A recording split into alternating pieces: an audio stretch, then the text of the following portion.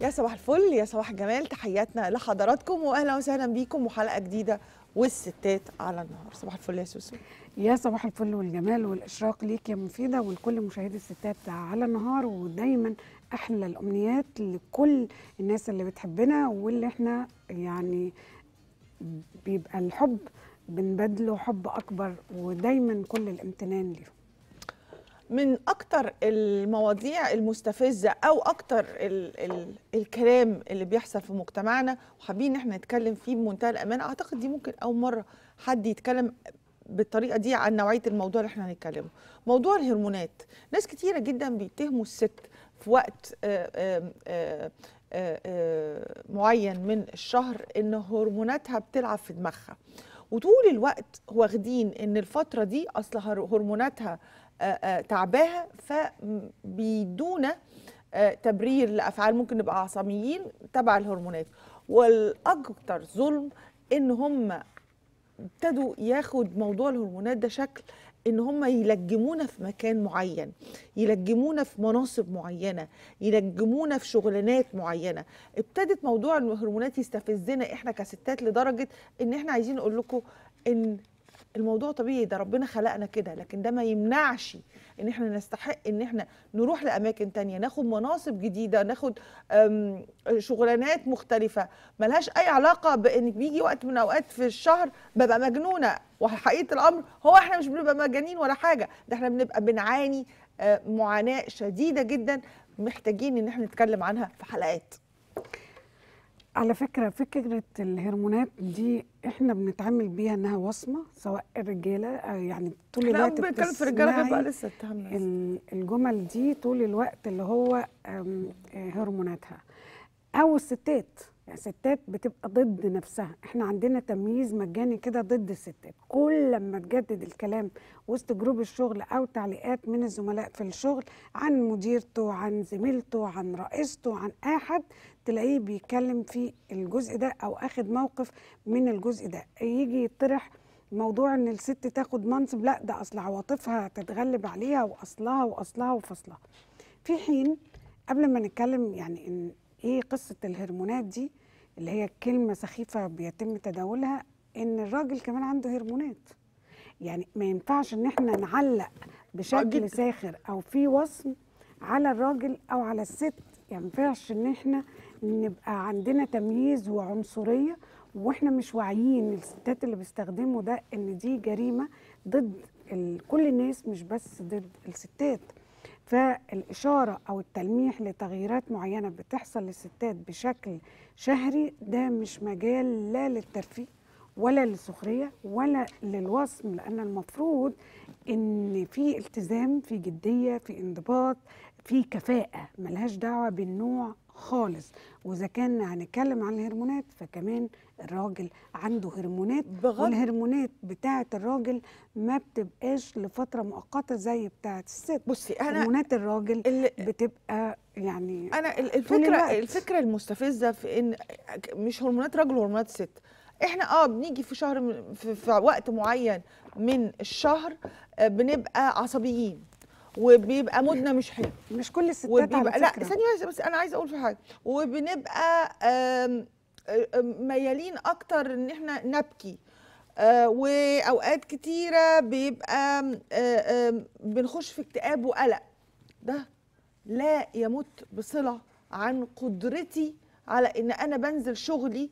كل يوم بشتغل وأنا فيا هذا الكم من الألم اللي ناس كتير جدا بيتريقوا عليه لكن هي الست اتعودت إن هي حتى تتقبل التريقة في فكرة أصل هرموناتها وتاخدها وتمشيها عادي وتنسى إنها تقف تدور وشهم وتقول لهم على فكرة آه أنا هرموناتي ممكن في أوقات كتيرة في الشهر بتتغير بس أنا ببقى حاسة بوجع حاسة بألم حاسة باكتئاب حاسة برغبة في البكاء بس ولا مرة عملت كل ده. كم التريقة وال messages أو ال groups بتاع الرجالة لما يجوا يتكلموا حتى على مراتاتهم. معلش أصل هرموناتها النهارده اليومين دول الهرمونات بتاعتها بتلعب فهنستحملها يا عم هرمونات ستات كبر! إيه ده؟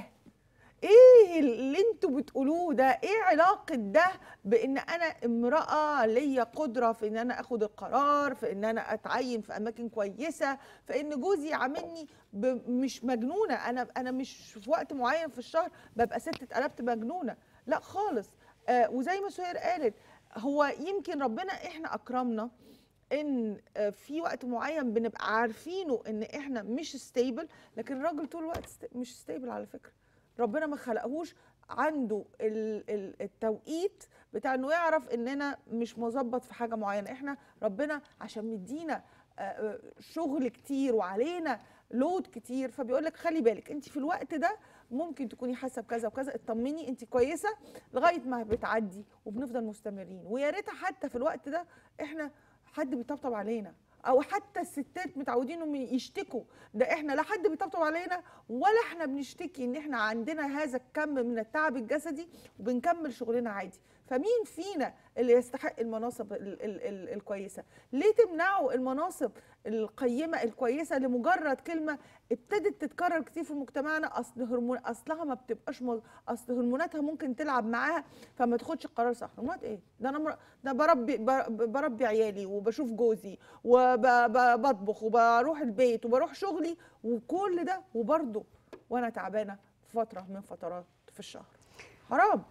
هو ال- الستات بيبقى عندها معاناة بس المعاناة دي بتختلف من ست لست والحجم بتاعها بيختلف من ست لست. ما ينفعش إحنا ما بنقولش راجل وست لازم نقول الكفاءة هي اللي بتحكم كل شيء. ما ينفعش ابدا يبقى المعيار عندي أصله راجل أو أصلها ست ده مش معيار لل...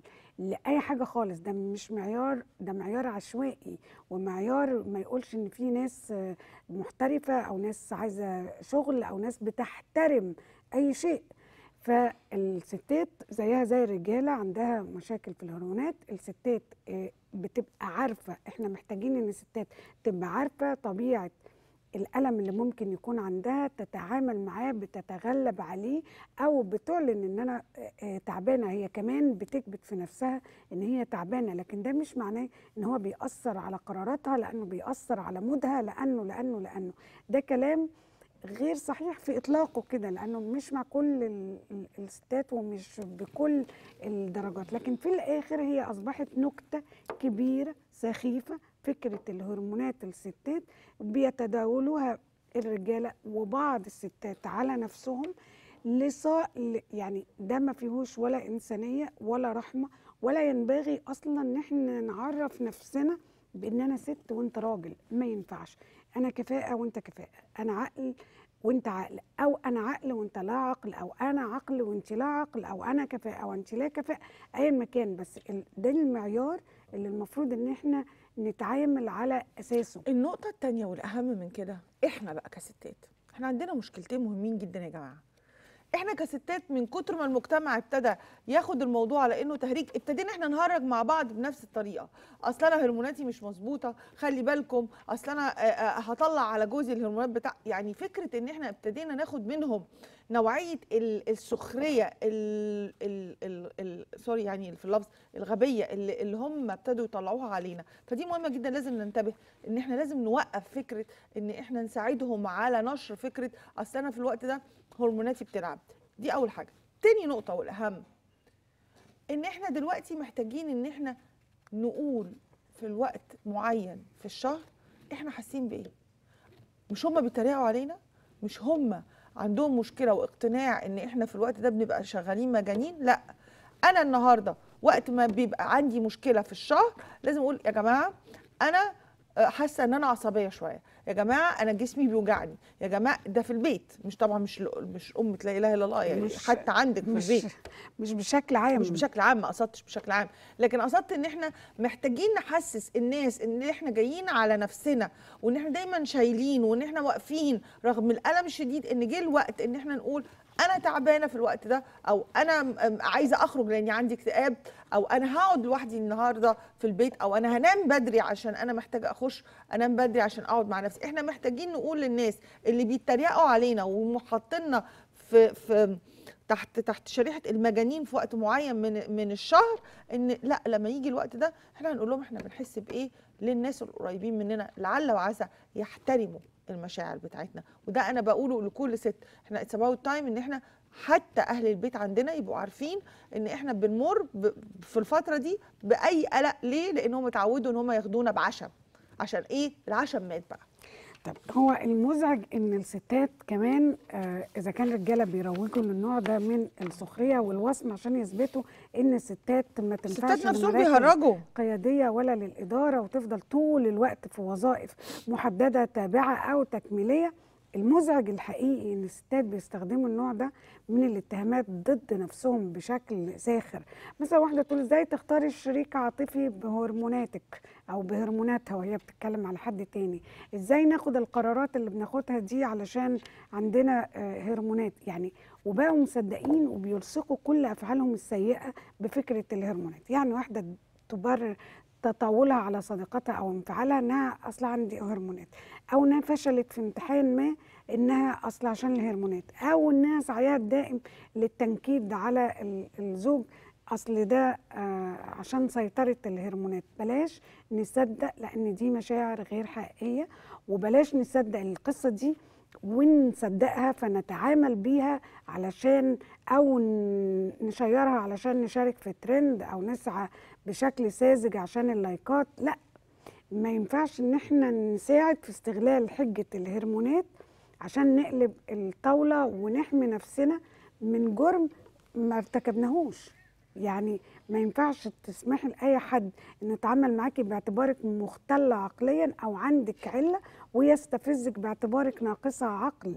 ما ينفعش ده ولا ينفع إن إحنا نناقش ده ولا ينفع إن إحنا نكلم الناس اللي دماغها كده بأي عقلانية. خلي الستات تبقى آه، فاهمة آه، نفسها وفاهمة طبيعة ال- القصة دي وتعلن عن لو عندها متاعب تعلن عنها في إطار الناس المقربين منها.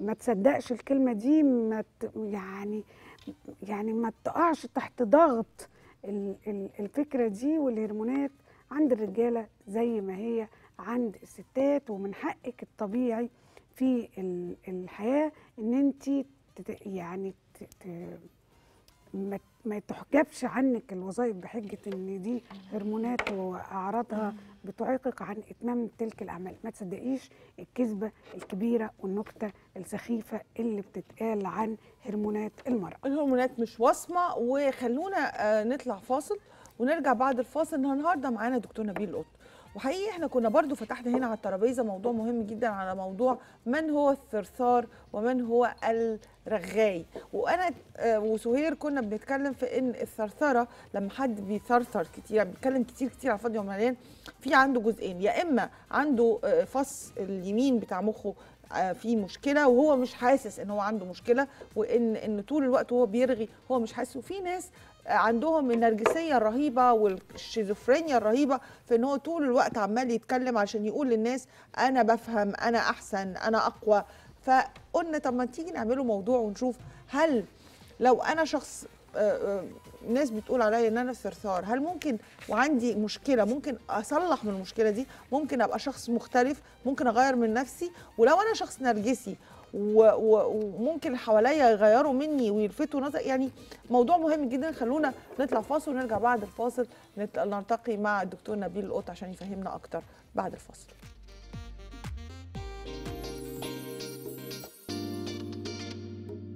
التالي متى تكون كثرة الكلام اضطرابا نفسيا؟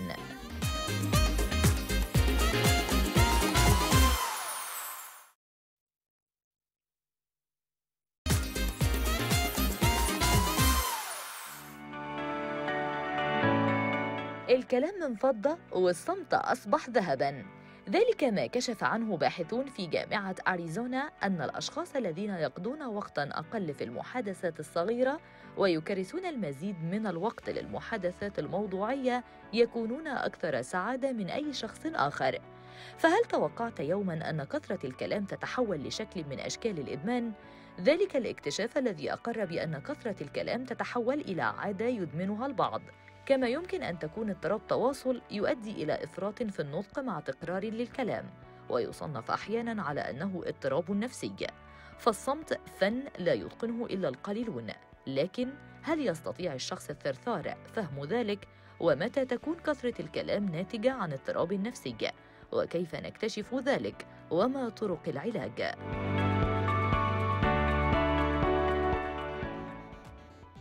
بنرجع مرة تانية مع حضراتكم. ويمكن آم، فكرة إن حد يبقى مدمن للكلام آه، آه، جديدة. آه، وبالذات إن إحنا متعودين إحنا في الشرق أو شرقيين بنحب نحكي. ودايما بنتكسف لو قاعدين في مكان وما بنتكلمش فيه يتقال علينا دمنا تقيل. لكن الدراسات بتقول إن في مرض اسمه إنسان ثرثار أو إنسان مدمن إن هو يقعد يرغي بلا توقف. وبيقولوا إن الشخص ده لو ما كانش نرجسي بطبعه عنده مشكلة نفسية يبقى عنده مشكلة في الجانب ال- اليمين من المخ. فخلينا نستفسر أكتر. نقول هل ممكن ده يحصل؟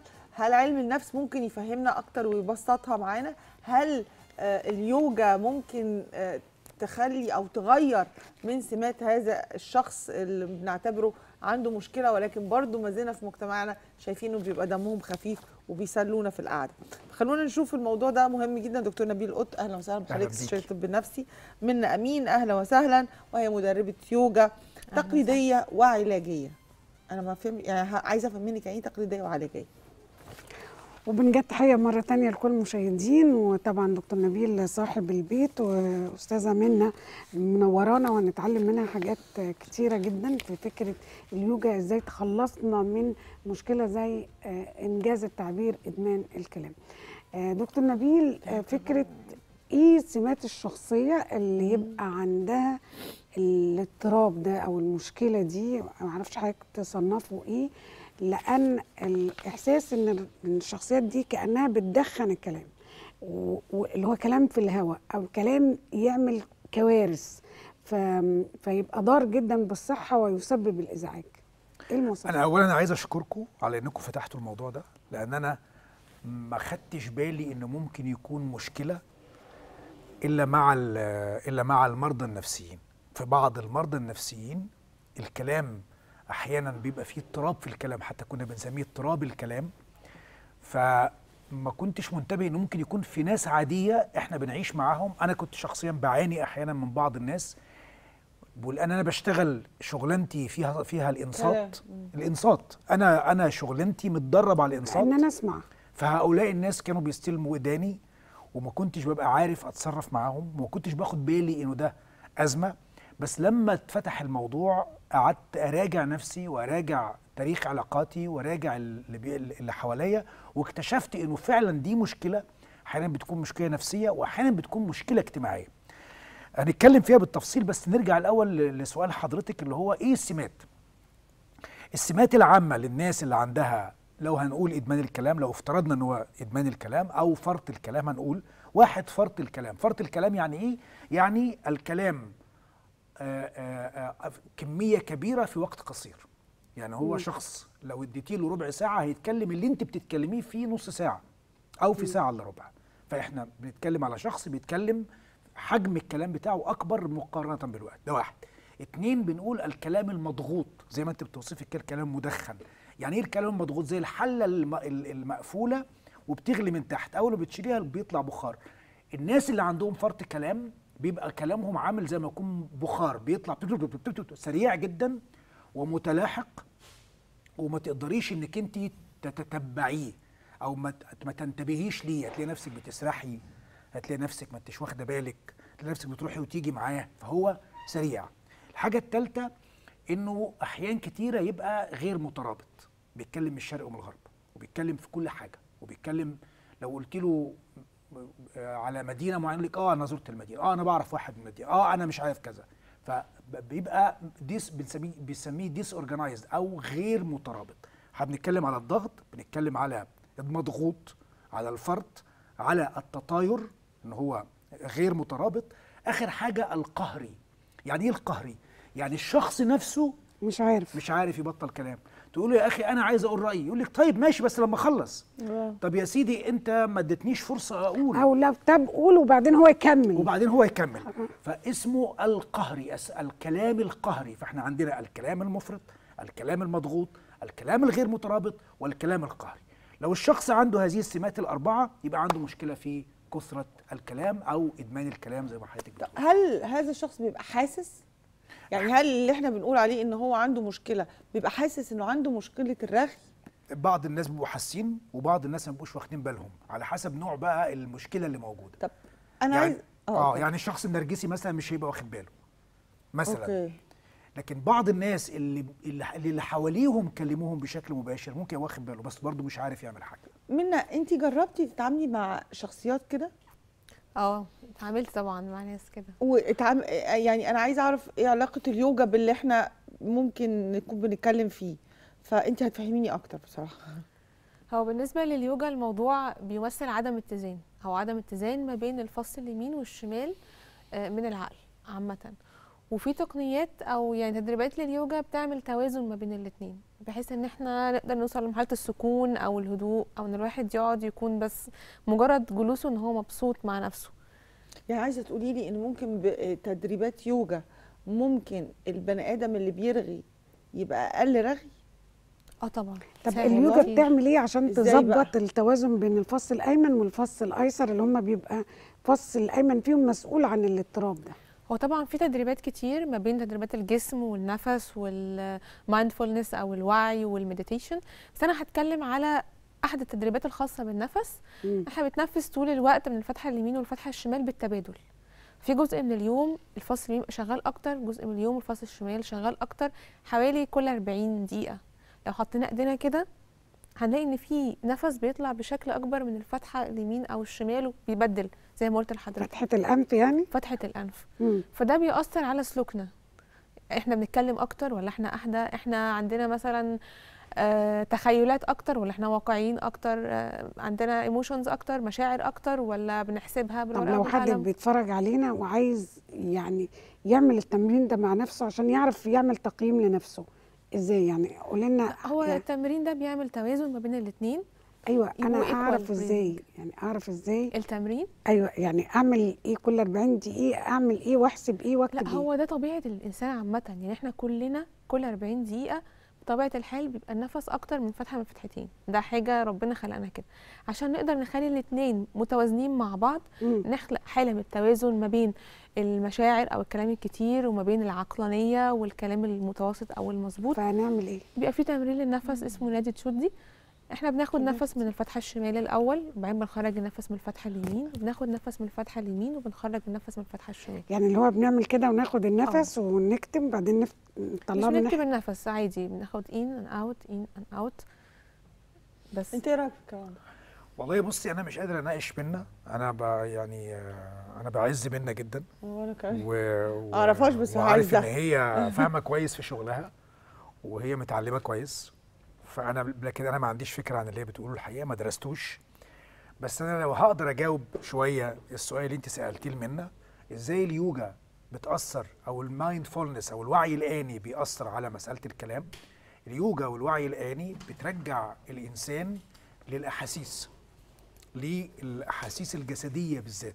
يعني إيه الأحاسيس الجسدية؟ الأحاسيس أصلا الحسية. يعني إيه الأحاسيس الحسية والجسدية؟ يعني اليوجا ستريتشنج التمدد فإحنا بنحس بجسمنا بنركز مع جسمنا بنركز مع مفاصلنا بنركز مع الأصوات اللي حوالينا بنركز مع أصوات جسدنا نفسها الأصوات الداخلية والأصوات الخارجية.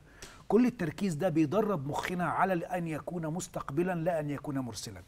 إحنا عندنا مخنا فيه إرسال اللي هو الكلام تو تو تو تو تو تو تو والاستقبال اللي هو الانصات أو اللي هو الحس بشكل عام سواء كان انصات أو رؤية أو كذا. اليوجا أو الوعي الآني بيدربنا أكتر على الانصات على الاستقبال أن نكون مستقبلين لا أن نكون مرسلين.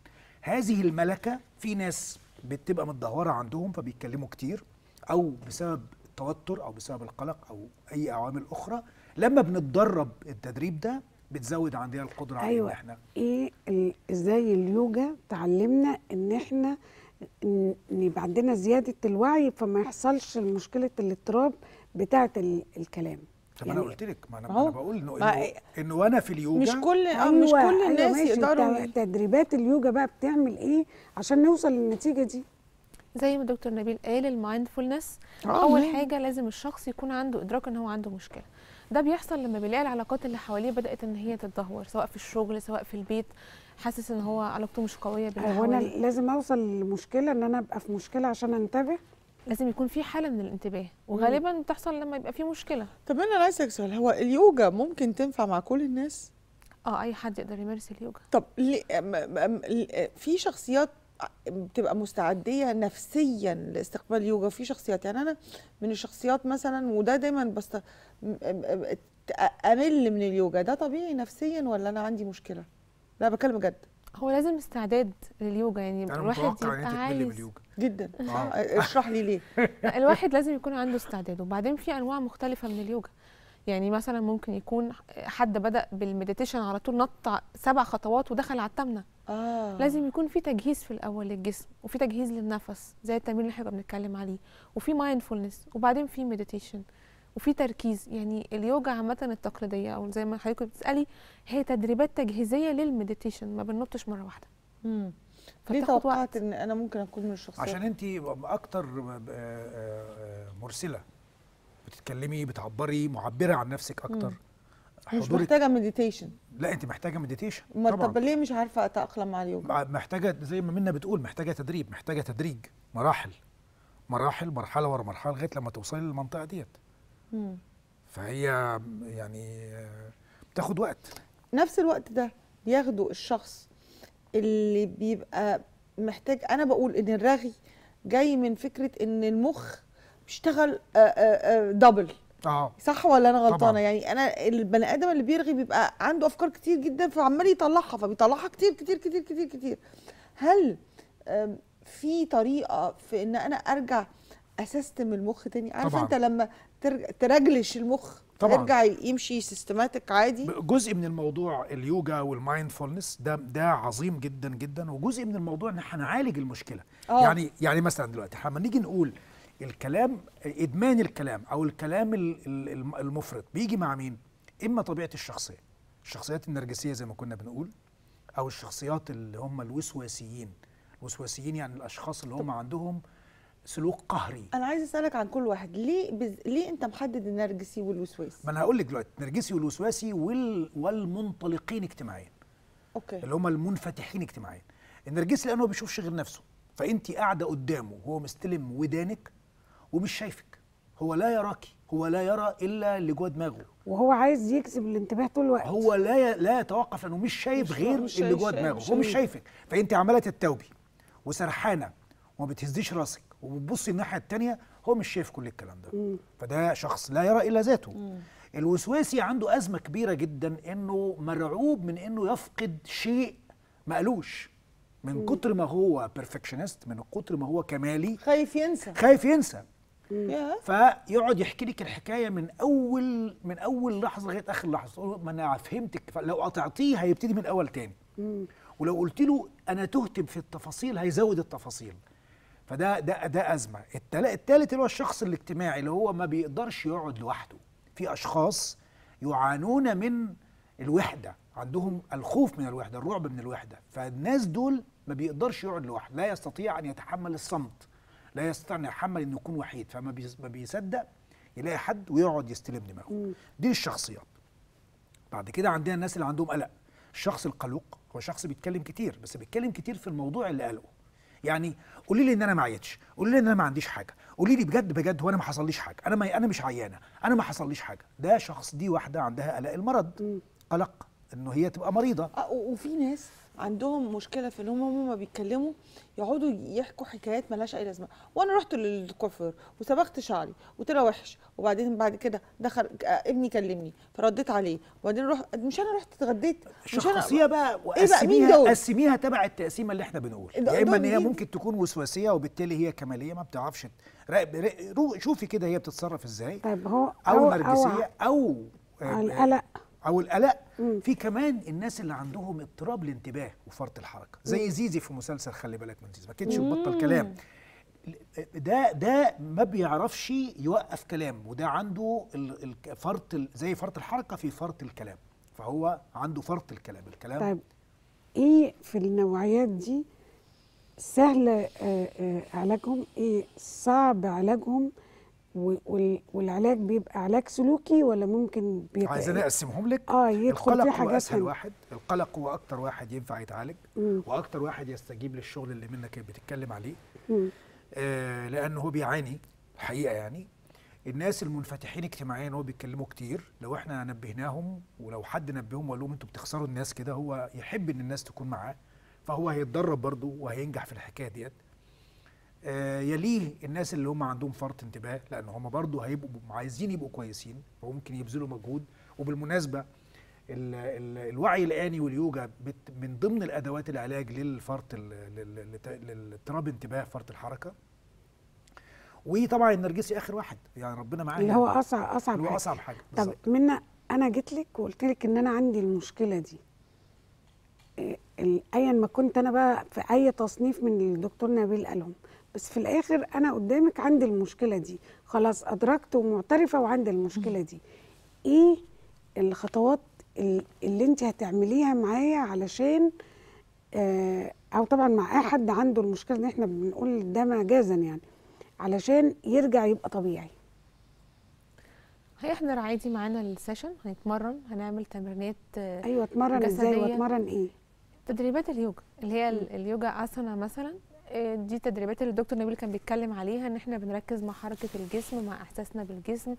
كل ده بيرد يعني بيخلي العقل يكون منتبه للجسم وللنفس. فده شوية بيبقى تمرين للعقل كمان. يعني بشكل غير مباشر نقدر إن إحنا نهدي عقلنا شوية اللي هي السرعة الموجودة في العقل تبدأ إن هي تهدى.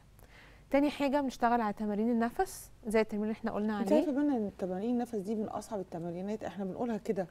لكن أنا لما خدنا يعني ال- اليوجا عشان تعلمك اكت- اكتشفنا إن إحنا عشان ننظم من البطن ال- كده دي بتاخد وقت طويل جدا عشان الواحد يأقلم نفسه ويركز إنه يتنفس صح. يعني دايما اليوجا يقول لك إيه التمارين النفس صعبة جدا. هي مش صعبة. هو كل حاجة بتيجي بتعمل بالتمرين يعني إزاي إزاي تركزي كتير. هي كتيرة جدا. كتير. إزاي يعني ادينا أمثلة. أو اديت مثال في الأول اللي هو التمرين من الفتحة اليمين والشمال ده مش محتاج أي حاجة اعمله كام مرة في. اليوم ولمدة قد إيه يعني ممكن مثلا في المرة الواحدة تسع مرات يعني مم. ناخد نفس شمال نخرج نفس يمين ناخد نفس يمين نخرج نفس شمال دي مرة واحدة نكرر تسعة ممكن نكررها أربع مرات يعني مع. الصبح آه، مع الغداء آه، مع. العشاء في الوقت ده يعني بالليل هو بيقوي كمان لو حد. عنده مشكلة في الجيوب الأنفية التمرين ده بيقويه أو بيقلل التهاب الجيوب الأنفية وبيفتح عامة الأنف. يعني إحنا مم. عندنا برد عندنا صداع. أي حد ممكن يعمل التمرين ده ملوش موانع. بقيه التمارين في حاجات ليها موانع. يعني كل حاجة وليها حاجة. مش أي حد يقدر يمارس كل التمارين. طب- بيرسون طب دكتور نبيل لو الأم لاحظت إن ابنها هم كل الولاد الصغيرين بيتكلموا كتير. بيتكلموا طبعا كتير. طبعا. أقدر أفرق إن أنا ابني رغاي من إن هو بيتكلم كتير عشان ده سنه إزاي؟ لما يكون شديد الإزعاج لما الناس تشتكي منه. ممكن أخدها على إن هي دلع. لا إزاي؟ المدرس يشتكي منه والواد مش مش مدي فرصة لزمايله إن هم يجاوبوا على الأسئلة. أي سؤال بيطرح بيروح طالع على طول ويقعد يزعق أنا يا أستاذ أنا يا أستاذ ويروح مجاوب. والله؟ آه طبعا. فبيشتكوا منه مد- العيال- ال- ال- صحابه بيشتكوا منه إخواته بيشتكوا منه. أنت نفسك ما انتش عارفة تتكلمي لأن هو بيقاطعك طول الوقت. فده دي دي دي حاجات واضحة. ما, ما, ما ينفعش إن إحنا نبقى قاعدين بقى خايفين. أصل الواد بيتكلم كتير لأ. شكوى في شكوى محددة من الطفل يبقى في مشكلة نراجعها. إنما الشخص الكبير لما يجي يشتكي يقول أنا مش عارف أوقف كلام الناس بتزهق مني أنا مش بعرف أوقف دماغي عن الكلام يبقى هنا هو محتاج شغل محتاج مساعدة. أيوه طب الطفل ده حضرتك تعالجه إزاي؟ على حسب هيتشخص مم. على حسب التشخيص. أغلب الأطفال دول بيكونوا اضطراب انتباه أغلبهم. فرط حركة. بس ممكن يكون قلق. ممكن يكون آه حاجة اسمها كوندكت يعني اضطراب مسلك. اضطراب مسلك يعني طفل قليل الأدب. فده فاحنا على حسب التشخيص بتاعه هنشخصه والتشخيص هي- هي- هيودينا طيب للعلاج ال- الناس الكبار في السن مش الكبار اللي هو عندنا مرحلة الطفولة وبقينا تمام. الشباب والنضج بقى الناس الكبار في السن في شكوى دائمة هم ما بيحسوش بيها. آه. مظبوط. إن هم بيكرروا نفس الكلام مظبوط. ونفس الحكايات بنفس التون بنفس المدة مم. بنفس الحاجات صحيح. ممكن يكونوا هل هم ما بيفتكروش؟ هل يعني ما عندهمش في خالص ناس احساس في ناس ممكن يبقى عندهم بيبقوا ال- ال- فاكرين. وفي ناس بينسوا. آه طبعا. آه، أغلب- طب ده بيبقوا إيه؟ فاكرين وفي ناس بينسوا طبعا في ناس بينسوا. أيوه ده إيه يعني؟ اللي هو بحكي لك الحكاية دي شليون مرة. والله أعتقد يا يا سهير إن هم آه، غلب. لأن هم بيكونوا فقدوا كتير جدا من اهتماماتهم وانشغالاتهم يعني ده جذب. انتباه؟ آه طبعا. لأن هو بيملوا بيملوا وجودهم وجودهم بقى فقير ومحدود ولما فيش شغل ما حدش بياخد رأيهم في حاجات كتير. فالكلام والحكي المتكرر هو محاولة لأن أنا موجود. أنا شخص موجود وأنا أستحق وأنا ليا دور. فأعتقد إنه الحكاية وطبعا هم بيعيدوا نفس الحاجات علشان الذاكرة كمان الذاكرة بقت ضعيفة. فنفس الحكايات اللي هي القديمة الثابتة المتسجلة بقوة هي اللي بتطلع كل شوية. طب اليوجا ممكن ت- ت- تعمل الذاكرة؟ يعني تنعش الذاكرة ما تخليش يبقى فيه ارتخاء كده في العضلات اللي هي مسؤولة عن إن أنا أفتكر فاعيد تاني الحكايات؟ آه طبعا المديتيشن بيأثر جامد على الذاكرة.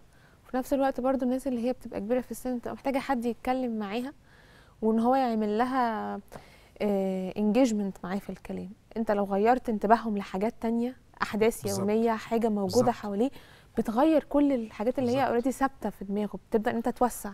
فلازم الناس اللي حواليه تبقى ليها دور. منا انت يوجا آه، تقليدية وعلاجيه اليوجا تعالج إيه تاني من تجاربك؟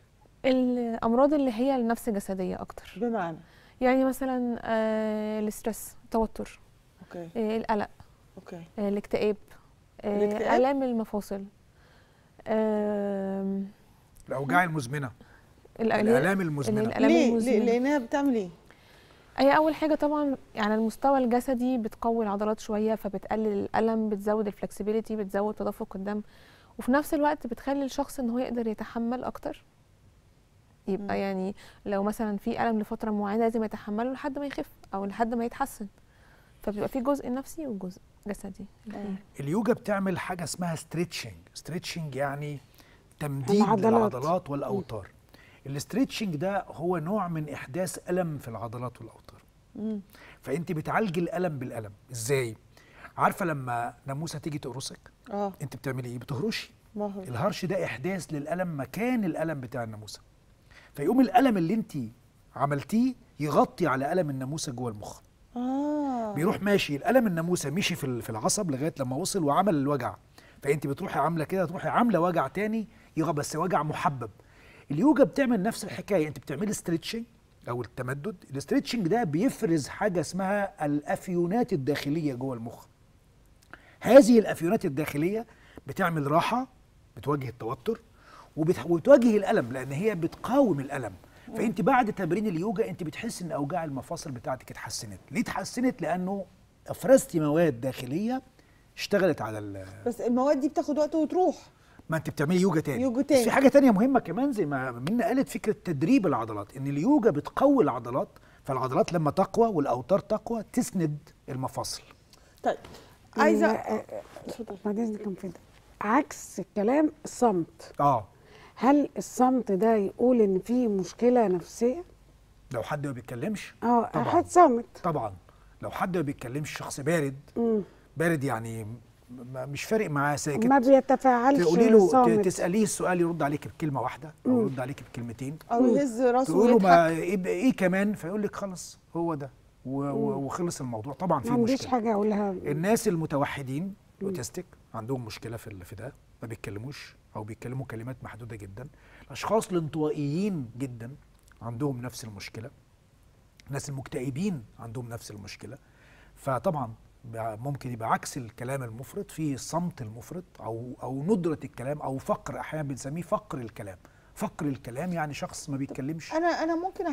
ممكن أغير. لو بنت ارتبطت برجل أو بولد أو بزوج عنده فقر كلام ودي بتبقى مصيبة والله بكلم بجد. بشوفها كتير هو طبعا أنا ينفع أغيره؟ يعني ممكن أخليه يرغي؟ طب مش عايزاه يرغي.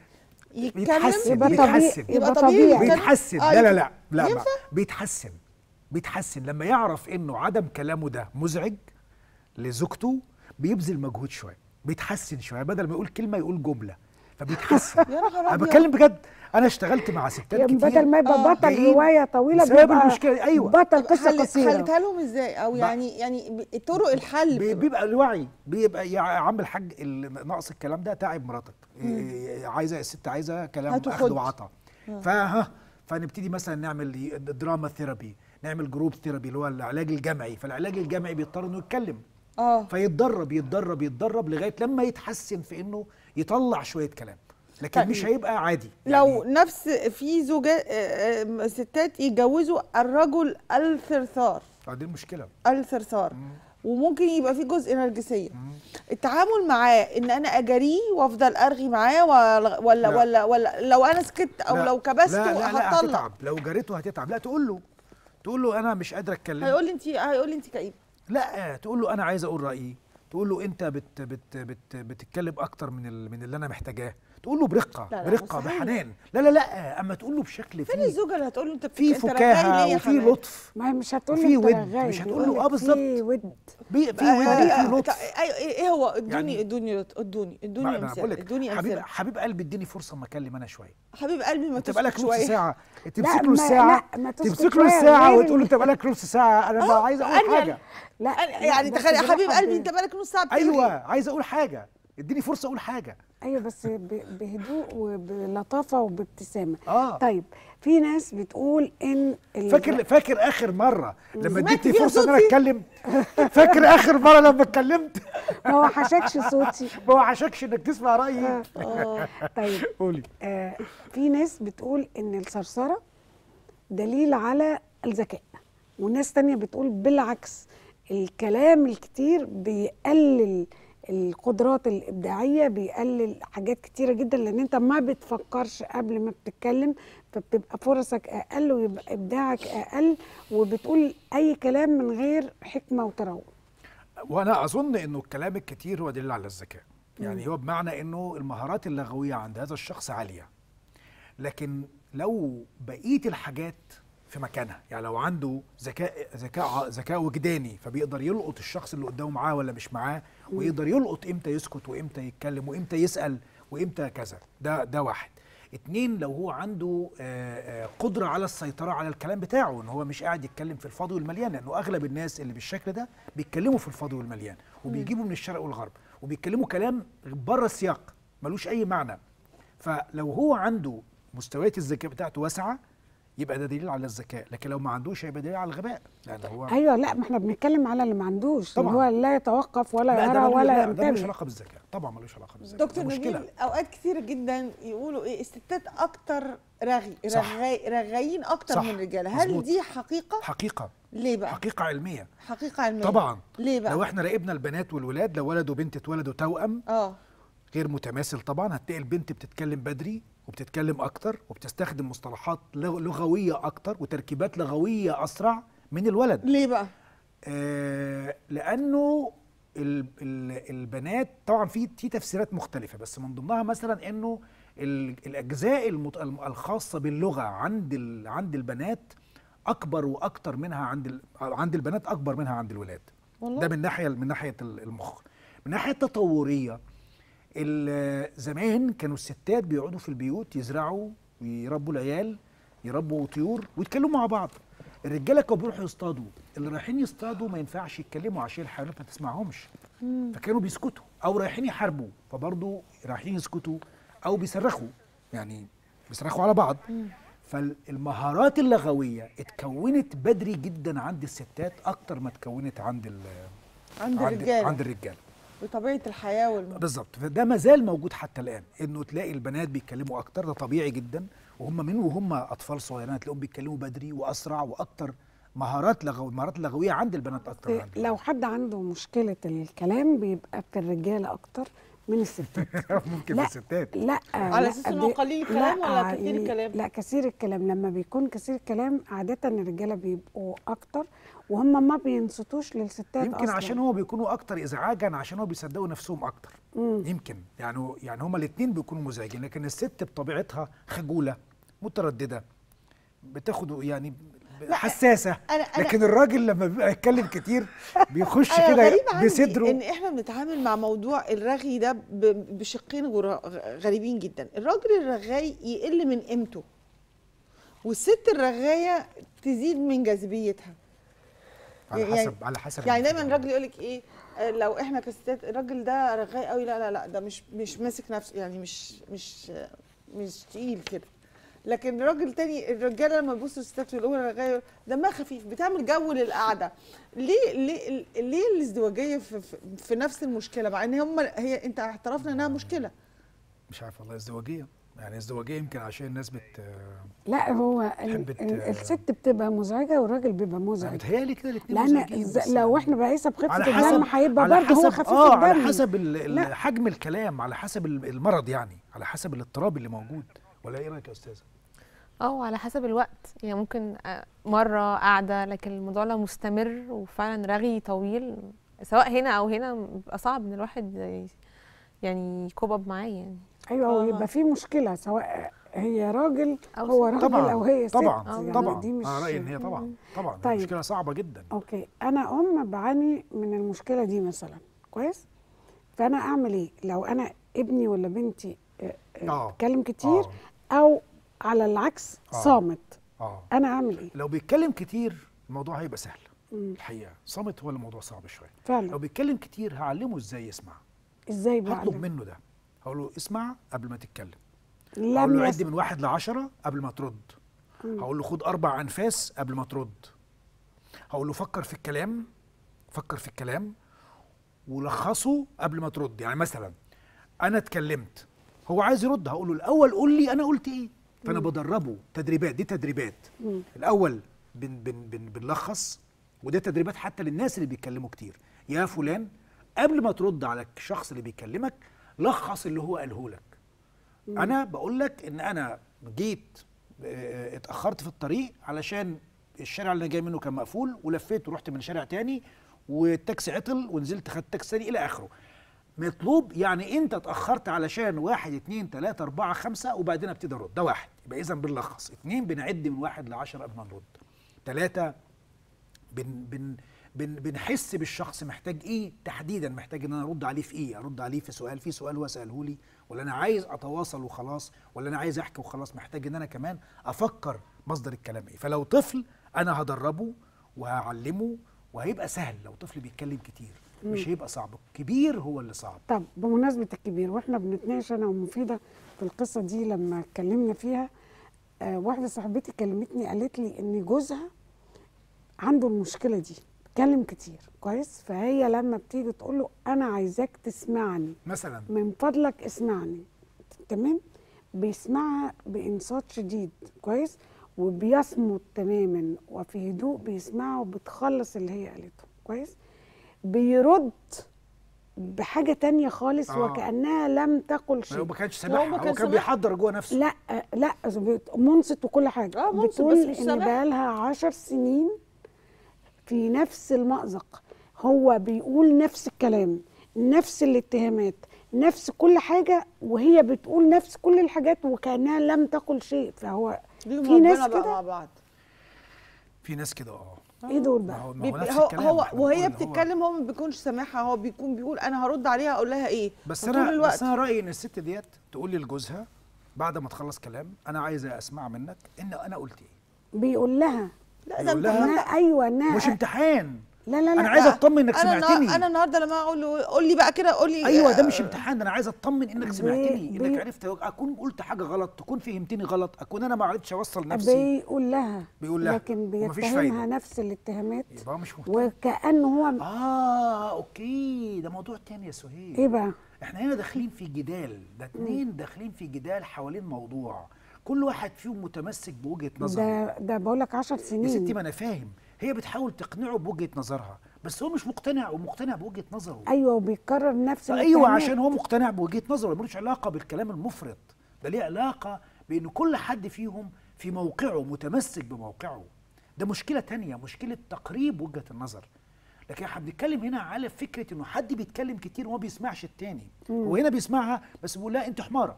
أيوه هو متصلب بالظبط. لم وكأنه لم يسمعها. أيوه. هو بيقول نفس الاتهامات ونفس عشان مش مقتنع مرة بكلامها. تانية كلاكيته 200 مرة. عشان مش مقتنع بكلامها.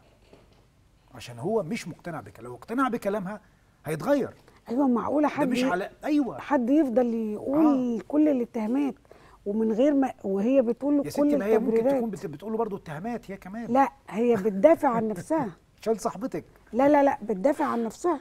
يعني هي ما أعرفش بس أنا بقول لك ده غير الكلام المفرط هو شخص لا يستطيع أن يتوقف عن الكلام ولا يستطيع أن يسمع الآخر. ليه؟ لأنه مشغول طول الوقت هيقول إيه؟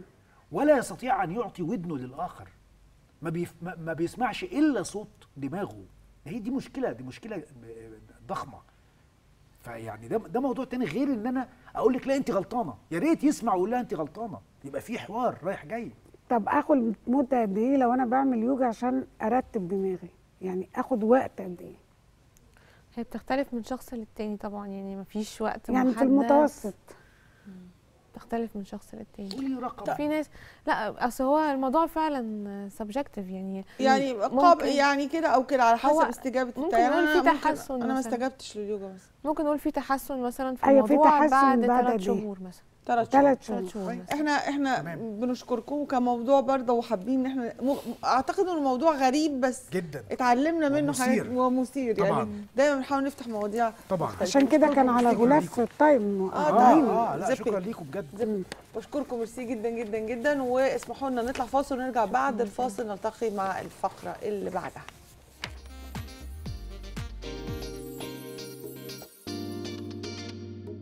التالي مهندس الديكور أحمد إسماعيل في ضيافة الستات.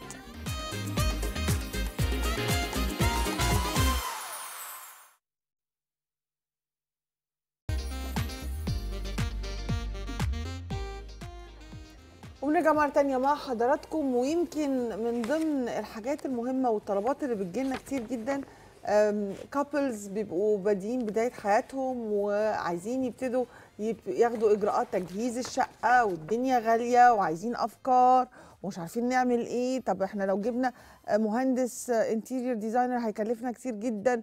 طب آه، طب هن- هن- هندفع لل interior designer ولا هنجيب الحاجات؟ أنا عايزة أقول لكم إن كل دي أسئلة مباحة جدا لكن إحنا مش هنعرف نرد عليها. مين أحسن واحد يقدر يرد عليها؟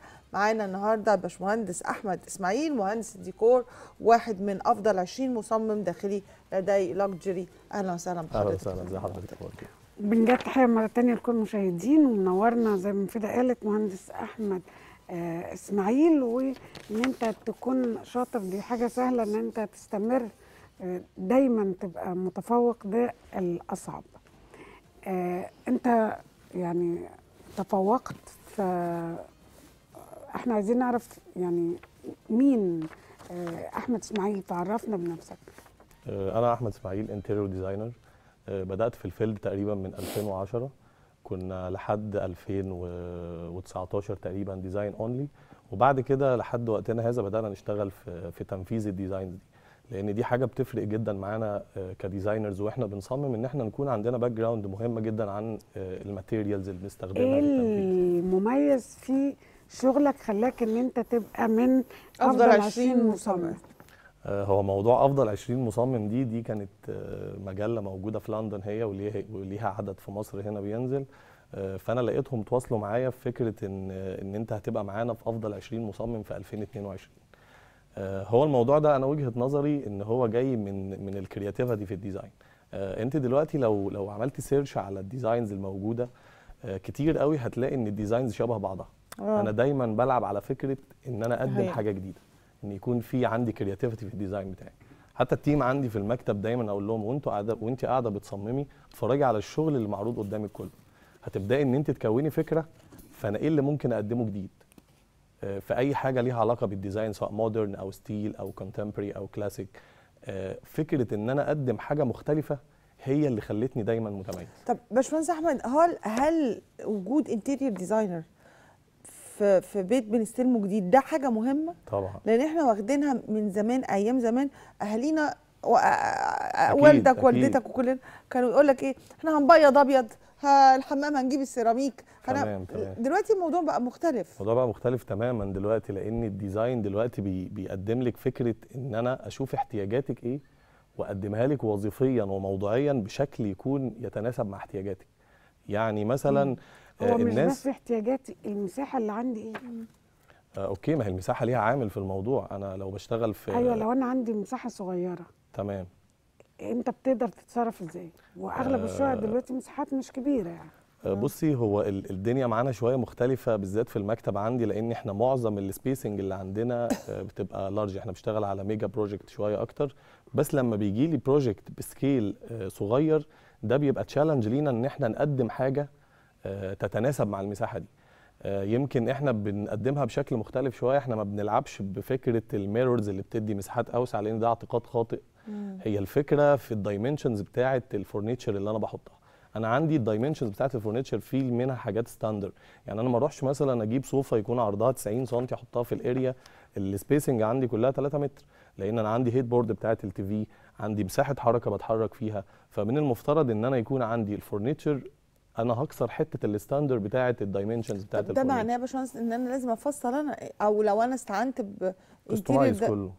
آه م- يعني آه، ب customize ال furniture بتاعي وطبعا بيطلع ب quality طب زي أنا النهارده لو أنا نفسي في interior designer ويعمل لي كل ده تمام. هل أنا ببقى مجبرة في ال deal إن أنا أدفع حق ال interior designer والمنتجات ولا أنت ممكن تقدم لي offers ممكن تيجي أنت تقول لي والله أنا البيت ده أنا اللي هظبطه ونرسم الرسومات ويبقى ال package كله شامل كل حاجة. لا ساعات حسب ال deal اللي بيتم مع ال client سواء إذا كانت package أو نسبة أو ايا كان ال deal بس هي مش deal مش دي القصة أو مش ده العائق. لأن أنا عندي مثلا لو في حد بيتواصل معايا من عن طريق المكتب بتاعي phone أو من على ال page أنا بقدر أتناقش معاه واديله أفكار ممكن يعمل إيه حتى لو ما اشتغلش معايا. هو ده ال page بتاع حضرتك الموجودة. آه آه بالظبط. لا ده شغل. ده project كنا عاملينه في الهند. عملنا والله شغل في الهند. آه دي صفحة حضرتك. آه آه بالظبط. طب أنت مميز في التصميم الداخلي؟ في ال design آه.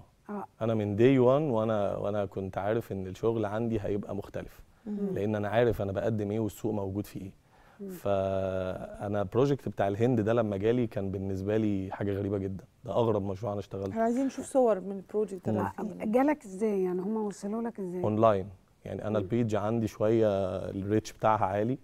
آه، أنا عايز أقول لك برضو في مشروع تاني معايا آه، بتاع لاعب كورة اسمه إيفان راكيتيتش بيلعب في أسبانيا. تواصل معانا برضو من عن طريق ال page وعملنا معاه Zoom meeting وبنعمل البيت بتاعه. ال project بتاع الهند ده كان رجل أعمال في الهند تواصل معانا. هو إيه اللي خلاه يختار ال page أو إيه اللي خلاه يختار ال designs الاختلاف أو التميز في ال في, ال في, ال في اللي أنت بتقدميه. بالظبط. إحنا إحنا بنعتمد على ال luxury style الناس اللي عايزة البيوت والموضوع ملوش علاقة ب- ب- بالفلوس إن أنا أصرف كتير. أيوه ما ده كنت لسه لا هسأل سؤال. ملوش علاقة. مش فكرة إن أنا عايز أعمل حاجة luxury إن أنا أصرف كتير. آه. خالص. أنا أنا عندي مثلا concept في ال design زي ال ultra modern أنا ممكن space كبير جدا ما يبقاش في عندي غير قطعة furniture و TV وباقي المكان كله فاضي. الفكرة إن إن ال designer لما بيجي يقدم حاجة في مكان أنا ممكن أدخله يبقى في تشطيبات وشكلها حلو. لكن أنا كمهندس أبقى عارف إن مفيش مهندس عمل ده. ده حد اجتهد وعمله. دايما المهندس بتعرف منين يا باشمهندس؟ إحنا عندنا lines كده بنتبعها في ال design يعني بيبقى في حاجة matching مع حاجة تانية في lines ماشية قصاد بعضيها في symmetric أو في concept متبع. لكن أنا في أماكن باجي أدخلها بيبقى شكلها حلو. لكن أنا ببقى عارف ان مش مهندس اللي اشتغل في المكان. المهندس ده- دايما بيبقى ليه بصمة في المكان. آه سي مثلا أنا باجي أدخل أدخل كافيهات ألاقي نفسي قاعد على table أنا مش جنبي فيشة استعمل ال charger يجي يقول لك طب معلش تعالي هنا جنب الفيشة. صح. هنا مفيش مهندس دخل المكان ده. لو مهندس دخل المكان ده أنا عندي plans furniture عندي electric plans بوزع الكهرباء بتاعتي بناء على ال furniture الموضوع بيبقى مدروس من من البداية للنهاية. طب هل في خطوط ألوان أنا وعريس وعروسة أو خريجين لسه ال interior designers. المبتدئين الجداد يبقوا ماشيين عليها في إن فكرة إن ال reception لازم ألوانه تبقى ما بين كذا وكذا وكذا وكذا لو عايز تلعب العب في أوض النوم في يعني خطوط الألوان إيه طيب هو في في محددات آه هي في محددات بس آه. مش إلزامية ماشي بس يعني- تبقى إحنا إحنا عارفينها. بالظبط. يعني مثلا أنا ما ينفعش أجي في في reception هيجي لي فيه ضيوف وأعمل فيه لون pinky أنا أعمل pinky ده في غرفتي أنا. أنا ده ده لون special أنا أنا بحبه. آه. لكن بالنسبة لل reception بيبقى فيه colors معينة وفي تيمة معينة إيه؟ المفروض إن أنا أبقى متبعها هل يعني دي حاجات آه، آه، ثابتة مثلا؟ اللي هو لا. ده أمال- عادي أنا ممكن أقابل client عايز يعمل ال- البيت بتاعه كله dark mode ما هو هو بيقول لك مش ملزمة بس هو دي مدر- مدرسة. by logic بالظبط. by logic إن أنا في reception عندي بعمل ألوان فاتحة زي ال off-white زي ال- زي البيجات لكن ده ثابت؟ لا طبعا. طب هل في ترند موضة في ال... بتحصل طول الوقت في الألوان في التصميم؟ في, في رصة الموبيليا كمان. أنا وجهة نظري إنه لا. أنا أنا ممكن آه، أصل ال lines بتاعت ال decoration دي آه، يعني أنا ممكن أبتكر حاجة جديدة. أنا ممكن أعمل touch لو حد قالهولك كده يعني من غير ما يوريك ال design أنت تعترضي عليه. إزاي أعمل ده مع ده؟ إزاي أحط touch classic تقيل في مكان في مكان modern فأنا ممكن أتبع ال line ده ويطلع مني حاجة قوية جدا. فهي مفيش حاجة آه، أنا وجهة نظري مفيش حاجة آه، اسمها إن ده ترند اليومين دول.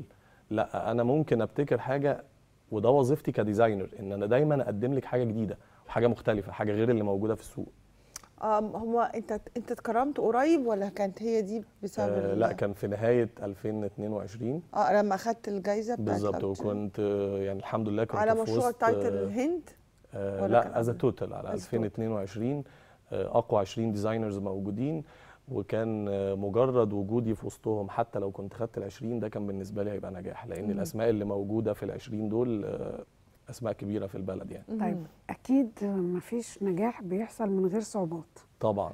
إيه بقى الصعوبات اللي قابلتك وإيه أسلحتك عشان تتجاوزها؟ طيب بصي إحنا مجالنا من دي 1 ل today وهو كله مجال تنافسي. ففكرة إن أنت تكوني موجودة في في وسط المنافسة الشرسة دي اولا في designer كتير متميزين بس مش كتير إنك لما تشوفي الشغل بتاعه تعرفي إن هو ده فلان.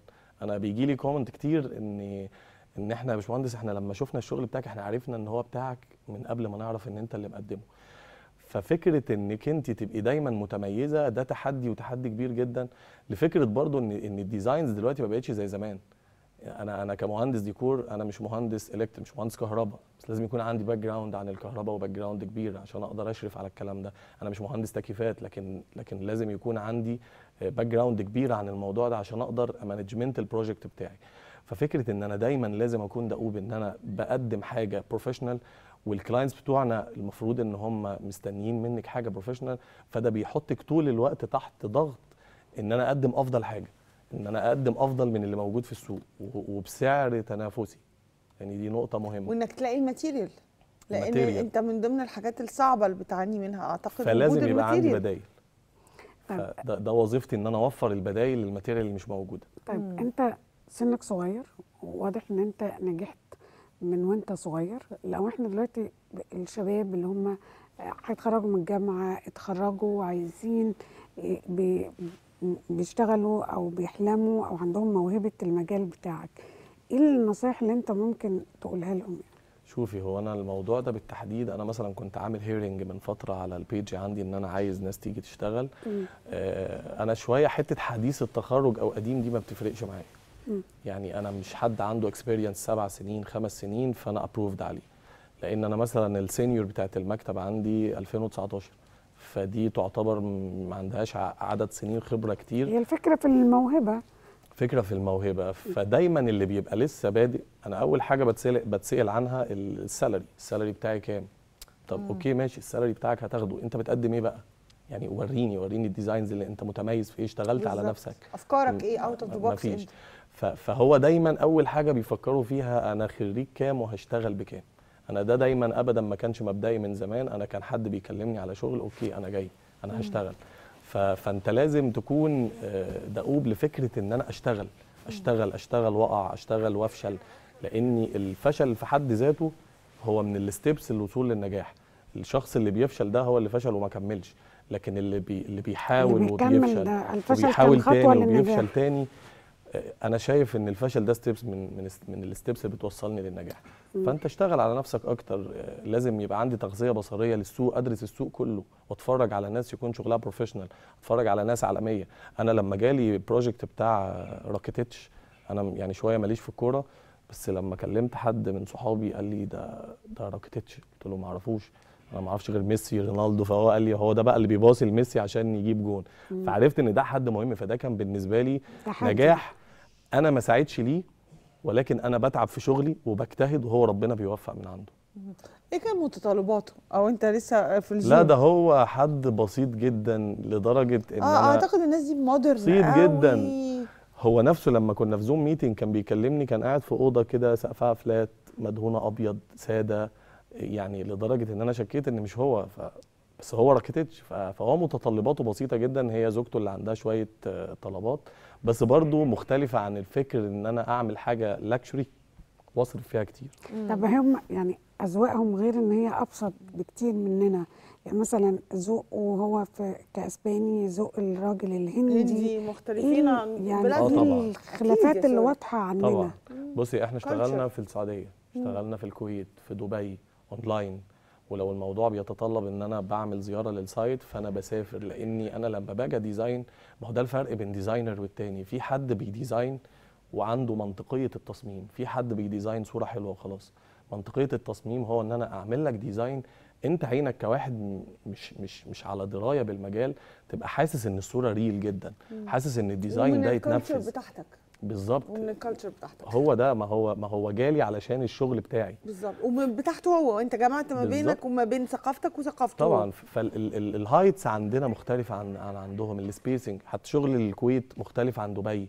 فأنا لازم لازم أدرس السوق عنده الأول. أنا برضو ال project اللي كان لسه من قريب آه، بتاع السفير اللبناني الاسبق أنا سافرت لبنان. درست السوق عنده علشان أعرف ال material اللي ه design بيها. لأن أنا ممكن أعمل لك design شكله حلو. بس, بس ما فيش ال material. إحنا. سعداء باشمهندس أحمد، بان إحنا شاب بنشكرك، مصري كده. ناجح ومتميز ومطلوب في عربيا وعالميا. بنشكرك بنشكرك يا باشمهندس العفو، أحمد. العفو، ميرسي شرف جدا نورتنا. وشرفتنا أهلا وسهلا. بيك. واسمحوا لنا بعد الفقره دي نطلع فاصل وبعد الفاصل نرجع بقى مع مطبخنا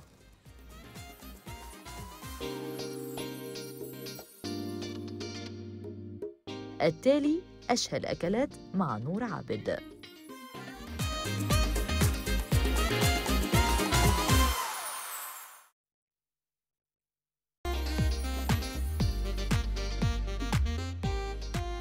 وبنرجع مرة تانية مع حضراتكم وبيسعدنا يكون معانا أصغر شيف في مصر بنتنا نور عابد. أنا فخورة بيها جدا بس هي طولت وكبرت وبقت قمر أهي. بقت يعني رائعة والأكل أنا ميرسي دقت جدا. طبعا أنتوا عارفين لازم أأمن. آه شفتي كبرت إزاي. سهير نور؟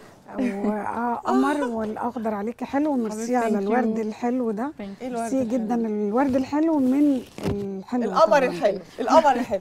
نور النهارده انت هتعلمينا حاجتين. آه. هتعلمينا طريقة جديدة للفراخ ممكن نعملها وطريقة البطاطس. ال mashed potatoes بطريقة مختلفة. عايز تبتدي بإيه الأول؟ ممكن الفراخ. يلا قولي مقاديرها. okay. وهنستعمل وانتي إيه؟ بالرشاقة دي بتاكلي الأكل ال- بناكله آه. الدسم ده بجد؟ أيوه. ما شاء الله برافو. آه، إحنا هنعمل فراخ صدور. فراخ ب- بالسبانخ بسبانخ وطماطم.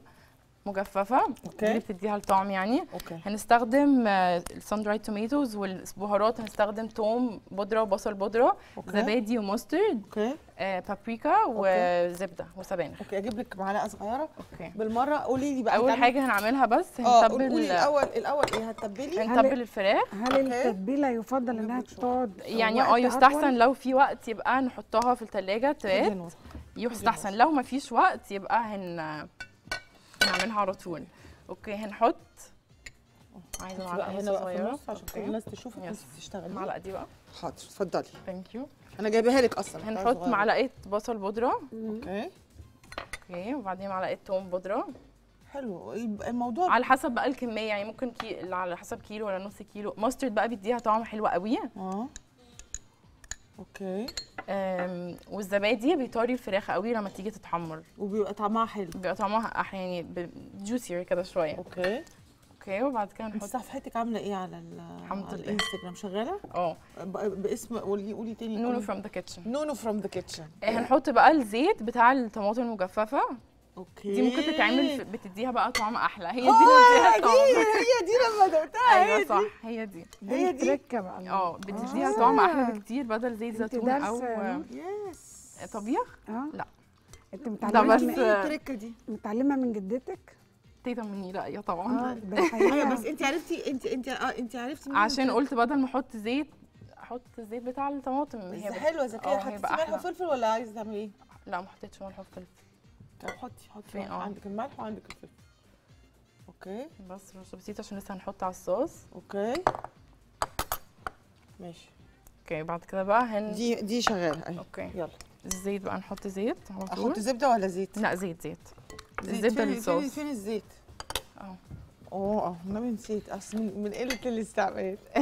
أنا نايمة النهارده. okay. خلاص خلصنا مش مشكلة.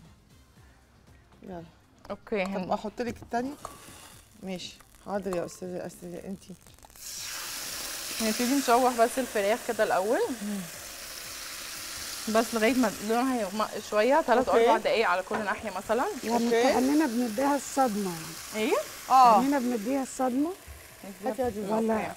لا ممكن بقى okay ماشي نستخدم الاثنين okay. آه عشان تعملي الصوص. أنا عملت لك دي. ممكن بقى الصوص هنحط زبدة. تعالي بقى مكاني لفي ورايا كده. أنا كل اللي اعمله لك إن أنا أشغل لك دي لك فكرة الزيت ده يلا. كده تزعل ما أنا. عارفة إن حضرتك مش لا، بتحبي لا، الزبدة بس. مضطرين بس شوية. يا بنتي الأكل. سيبك من طنطك سهير أصل طنطك سهير طول الوقت عاملة diet. ما أنا ما فيش أمل. ارضائها هنحط بقى توم مفروم. ممكن بصل كمان لو تحبوا بس آه، يا كده يا كده. okay okay تمام. خدي okay. عشان بس ما تجيش على عينك. طيب إيه تاني؟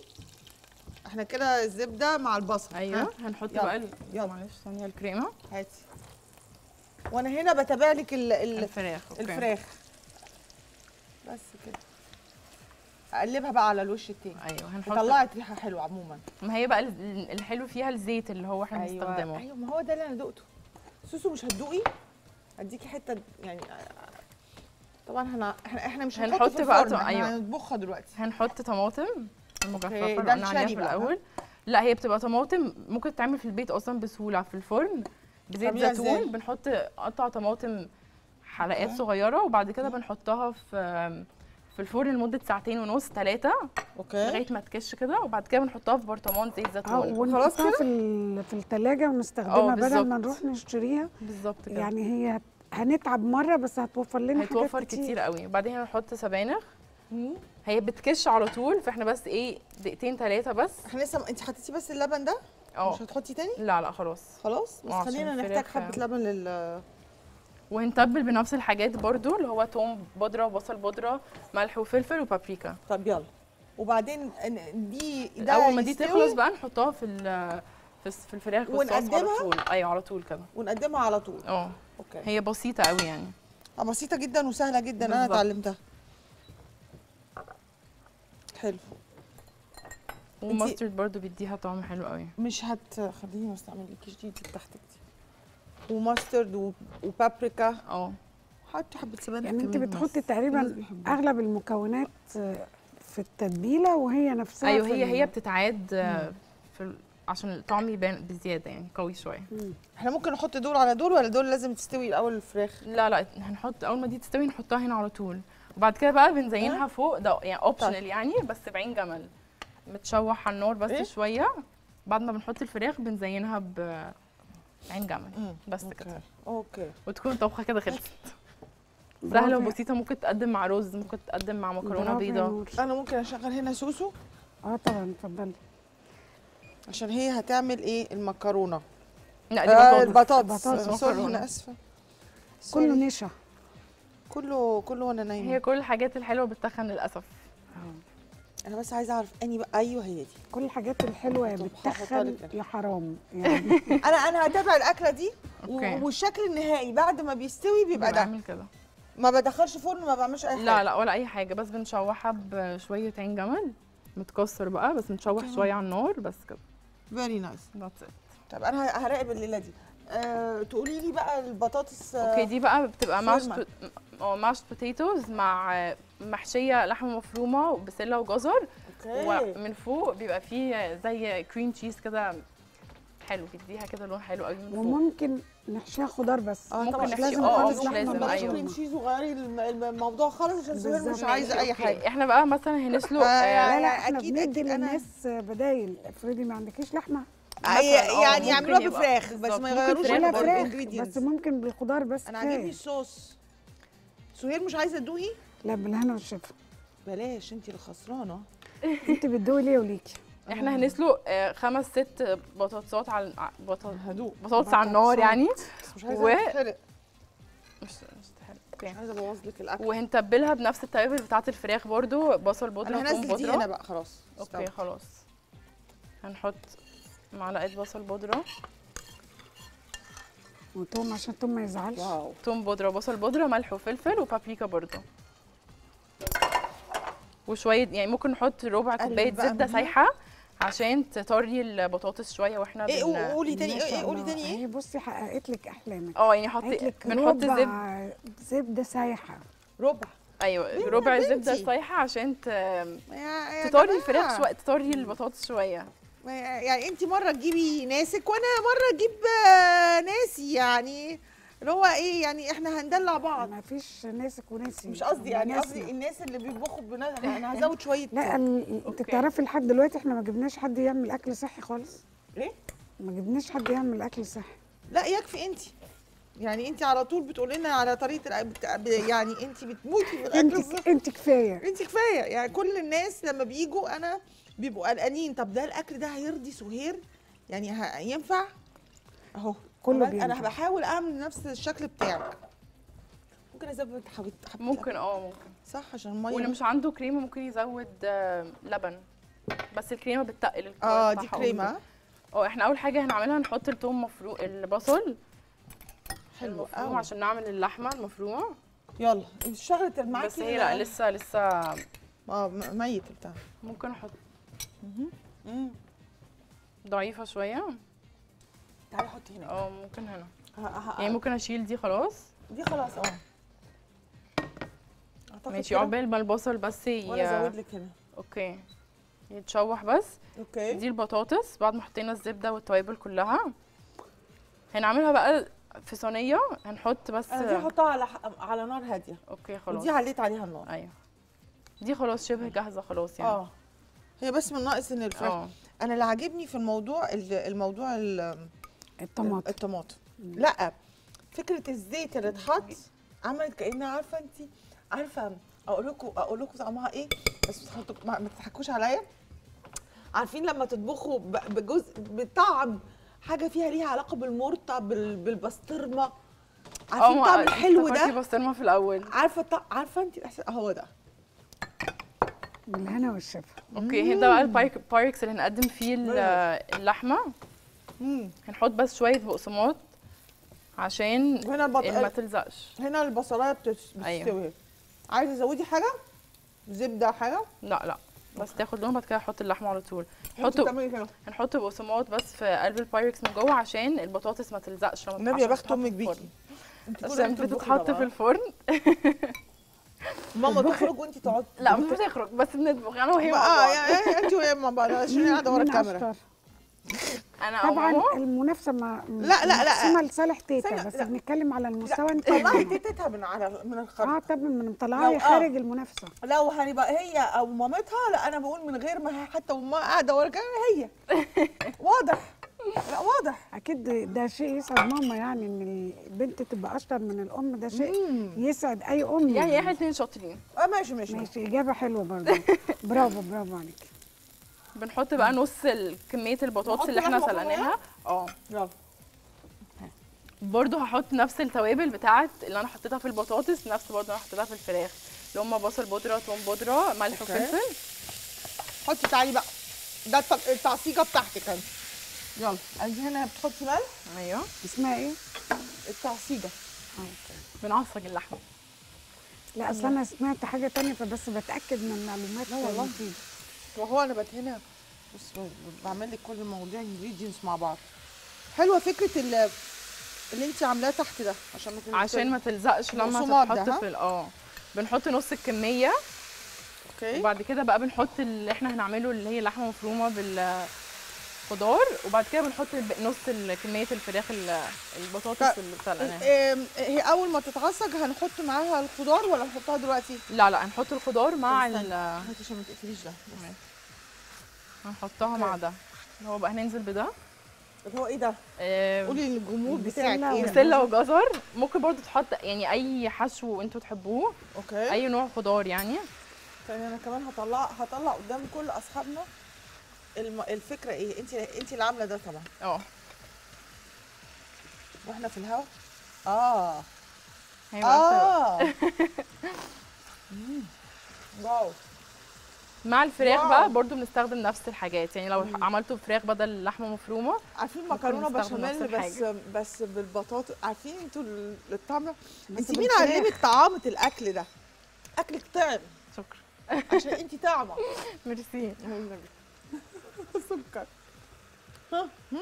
لا لا بالهنا والشفا. هتقعدي كل حاجة يقول عليها. لا لا. أنا ما بقولش لا أقول بس بقول لك بالهنا والشفا. طب خلاص. اللحمة المفرومة دي زي ما قلنا ينفع تبقى فراخ وينفع ممكن تبقى تبقى خضار من غير. بن- نسلقها أو نحمرها وبعد كده نفصفصها كده طبعا. بالشوكه أو حاجة. بصي طبقك اهو عشان ما تقوليش طعمتك مفيدة حرقتهولك لا. خلاص هو كده آه. مع شوية العين جمل وخلاص كده. آه بس هسيبهولك شوية كمان. ي- ي- يخش في بعضه كده عارفة؟ يشكشك. انت كده خلاص. أيوه خلاص. اتعصجت كده خلاص. آه. هنحط بقى. يلا. طبعا الكمية دي كتيرة على الطبق بس هنحط استعملي اللي تقدري عليه. أيوه أيوه كده. هنحط بس نصها. أشيل لك دي. لا لا أنا؟ بستخدمها لا عادي. ولو أسد. حد عمل كمية كبيرة زي دي ممكن جامد. يعمل مكرونه ويسلق مكرونة ويعمل ال... بالظبط هي بس دي تغيير بس من. البطاطس ال- مع البطاطس العادية طعم ها يعني لازم تبقي عارفة مش عشان أنا عارفاكي لا شكرا طعم هي طعمه فلازم يبقى أكلها طعم كده. قولي لي يا نور نحط بس باقي كميه البطاطس انت إيه أكتر حاجة متميزة فيها يعني إيه أكلة صعبة كده انت متميزة فيها أكلة صعبة. مم. حلو ولا حادق طيب؟ حلو وحادق. حلو بعمل banana pie. حلوة. آه، بعمل brownies و cookies برضو حلوين. تشيز كيك مم. أنا كده خلاص يا باشا. أيوه خلاص الطبق ده خلاص done كده إحنا. هنغرف والحادق أي حاجة fried chicken بقى. أو زي كده مثلا فراخ بقى وبحط حاجات جديدة مش بنستخدمها ماما بتحب قوي. تاكل إيه؟ وبابي بيحب ياكل إيه؟ والعيلة بتحب تاكل إيه؟ لا بابايا بيحب ياكل أكل صحي بس. فهو ملوش أي علاقة؟